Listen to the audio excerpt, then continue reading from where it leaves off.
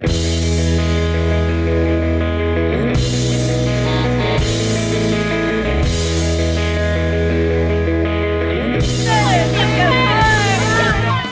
played the alto sax and I taught myself how to play it so I could be in the band. I learned a lot from the band and uh, I smoked my first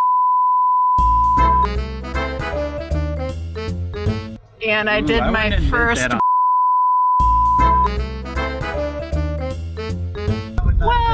you know. And so we got like a two game suspension or something like that. And then we got to come back for big game. And um, we all wore halos around our head. We made little like tinfoil halos.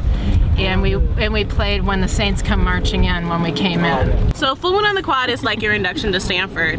And I was really worried about like being that typical freshman girl, right? Who was just like out there and being disgusting. So I, I like came into I was like, do not do anything with anybody. So a friend of ours, they gave me a strap. I was oh, you just said his name on camera anyway. So they gave me a strap. And then afterwards, um, another girl brought me this man, and so he was gonna he was gonna kiss me, it's a thing. and I was like, no, I cannot do this because I am drunk, and I like ran off, and like I hate myself for that moment because he was a oh sorry. I was that became our tradition. We would give each other